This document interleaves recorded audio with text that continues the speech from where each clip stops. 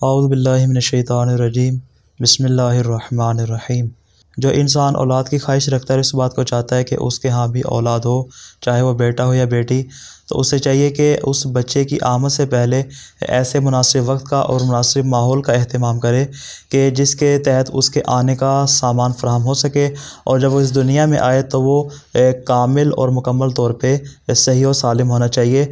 क्योंकि अगर बच्चा नाकसुलखिलकत या बीमार होगा तो उसकी सारी ज़िम्मेदारी उसके वालदेन पर होती है।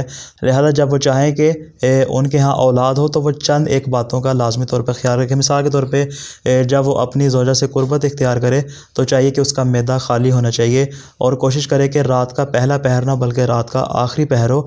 इसके हवाले से हमें जाम तरीन नुकात उस वसीयत में मिलते हैं, जो कि हज़रत रसूल खुदा सल्ला वसलम ने अमीर कायनत अली जिबन अबी तालब को इर्शाद फरमाई थी। आपने इशात फरमाया कहा, या अली, महीने की इब्तदा में, वसत में और आखिर में सोहबत ना करना, क्योंकि इसमें जुनून, जुज़ाम और खबती पन के तारी होने का इम्कान बढ़ जाता है।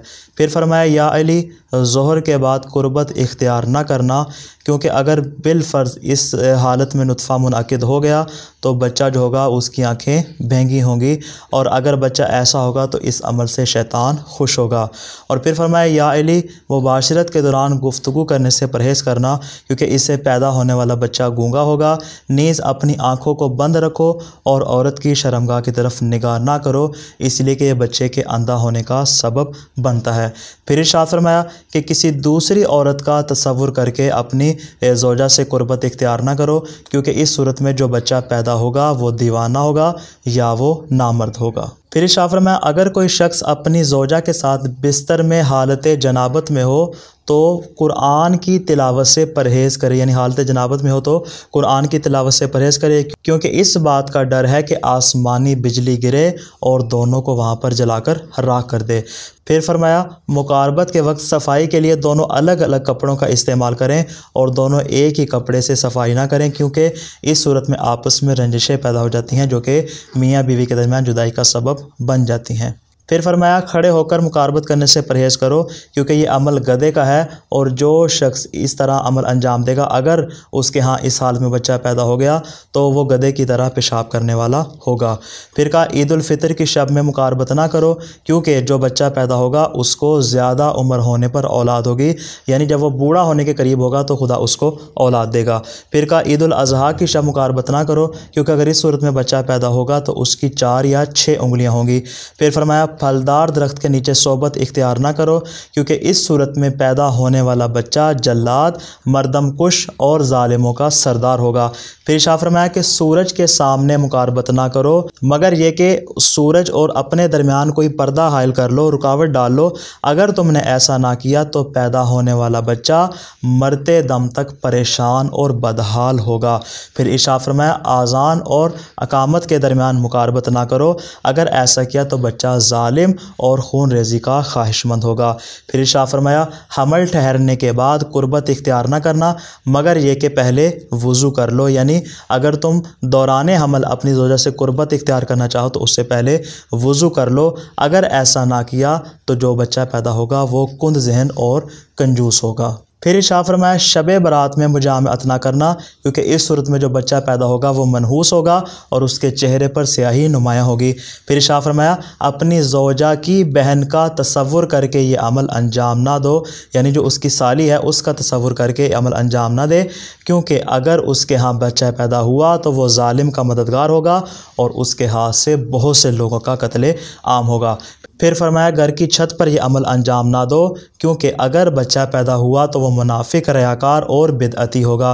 फिर फरमाया, जब सफ़र पर जाने का इरादा हो तो जिस दिन सफ़र पे जाना, उसकी जो पिछली शब होगी, उस रात मुबाशरत ना करो, क्योंकि जो बच्चा पैदा होगा, वो माल को बेदरे खर्च करेगा और जो बाल को बेदरे खर्च करे, वो इसराफ़ करने वाला है और इसराफ़ करने वाला शैतान का भाई शुमार होता है।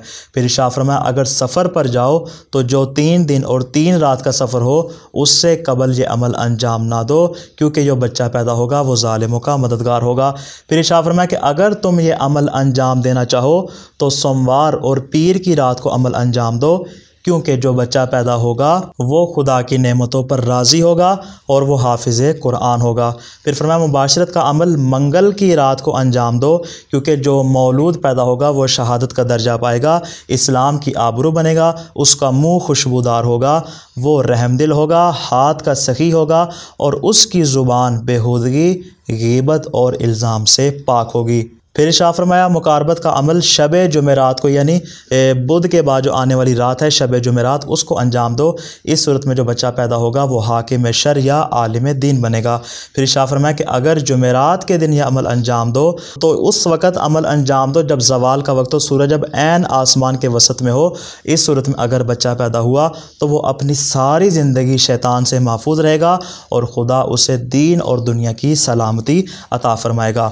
और फिर शाह फरमाया, अगर शब जुमा ये अमल अंजाम दो तो उस हालत में जो बच्चा पैदा होगा, वो ख़तीब होगा और फसीह बलीग होगा और दुनिया के अंदर कोई भी ख़तीब उसकी हम सरी और हम पल्ला नहीं कर सकेगा। फिर शाह फरमा कि अगर जुमा के दिन असर के बाद इस अमल को अंजाम दो तो जो मौलूद पैदा होगा, वो शहरत याफ्ता आलिम बनेगा। फिर शाह फरमा कि अगर शब जुमा नमाज़ ईशा के बाद ये अमल अंजाम दो तो जो बच्चा पैदा होगा वो अबदाल में से एक होगा। और फिर शाह फरमाया, रात की इब्तदा में ये अमल अंजाम ना दो, वरना जो बच्चा पैदा होगा वो जादूगरी अपनाएगा और दुनिया को आखिरत पर तरजीह देगा। दुआ अल्लाह के दुआलम से कि वो तमाम वालदेन को इन तमाम नुकात पर अमल करने की तोफ़ी अता फ़रमाए। वालकम वरहमल वर्का